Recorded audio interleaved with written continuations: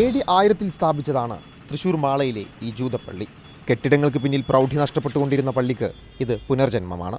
മുൻവശത്തെ വ്യാപാര സ്ഥാപനങ്ങൾ പൊളിച്ചു നീക്കിയതോടെ പള്ളി മാളയിൽ ആർക്കും കൺകുളിർക്കെ കാണാവുന്ന സ്ഥിതിയിലായി. രണ്ടായിരത്തി പതിനേഴിൽ മുസരിസ് പള്ളിയും സെമിത്തേരിയും ഏറ്റെടുത്തതോടെയാണ് പൈതൃക സ്ഥലമാക്കാനുള്ള നടപടി ഊർജിതമാക്കിയത്. കോമൺവെൽത്ത് രാജ്യങ്ങളിലെ തന്നെ ഏറ്റവും വലിയ ജൂത സെമിത്തേരിയാണ് മാളയിലേത്. സെമിത്തേരിക്കടുത്ത് അനധികൃത നിർമ്മാണ പ്രവർത്തനങ്ങളുമായി ബന്ധപ്പെട്ട് പലതവണ പ്രതിഷേധങ്ങൾ ഉയർന്നിരുന്നു. രണ്ടായിരത്തി ഇരുപത്തൊന്നിൽ സെമിത്തേരിക്ക് ചുറ്റുമതിൽ കെട്ടി സംരക്ഷിച്ചു തുടങ്ങി. പൈതൃക സംരക്ഷണ സമിതി രൂപീകരിച്ച് പ്രതിഷേധിച്ചതോടെയാണ് സർക്കാർ നടപടിയുണ്ടാകുന്നത്.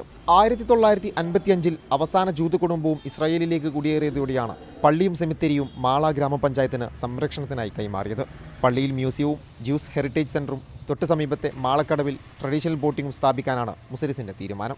സാംസ്കാരിക പൈതൃക ഭൂമിയായി എക്കാലത്തും അറിയപ്പെടുമെന്നാണ് സമിതിയുടെ പ്രതീക്ഷ. ഷഫിഹിയലയോടത്ത് മനോരമ ന്യൂസ്. തൃശൂർ.